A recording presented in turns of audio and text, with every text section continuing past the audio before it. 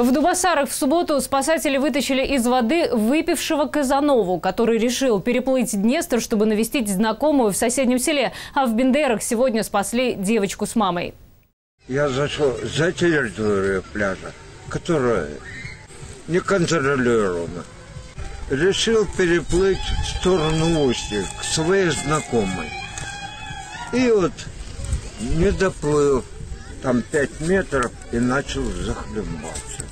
Захлебывающегося мужчину спасатели увидели за буйками уже за территорией официального пляжа. Было видно, пловец выбился из сил. Спасатели подплыли к мужчине на лодке и вытащили на берег. Неудавшийся Казанова признался, выпивал. В какой-то момент взыграла кровь, река стала по колено, решил плыть. На том берегу у него знакомая, но не осилил. Спасатели вовремя пришли на помощь.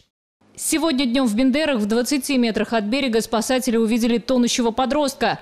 Как позже выяснилось, это была 12-летняя девочка. Ее снесло течением и тянуло на глубину. К ней сразу бросилась ее мама, ну и им потребовалась помощь уже обеим, потому что обе начали звать на помощь, тонуть. Спасатели вынесли девочку из воды на руках. Маме бросили спасательный круг и помогли выплыть.